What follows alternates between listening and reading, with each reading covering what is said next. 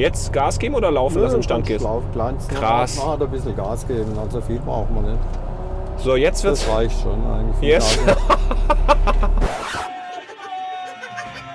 Kann man jetzt anhalten hier drin? In der Steigung? Ihr könnt schon anhalten. Ja. So.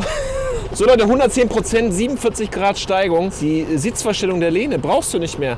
Das ist total bequem. Haben wir alle in der Fahrschule gelernt. Anfahren am Berg. Eben. Ne? also brauchst du überhaupt keine Bremse, weil Nee. durch die kleine Übersetzung ist der so langsam. Der jetzt, äh, jetzt hängen wir aber.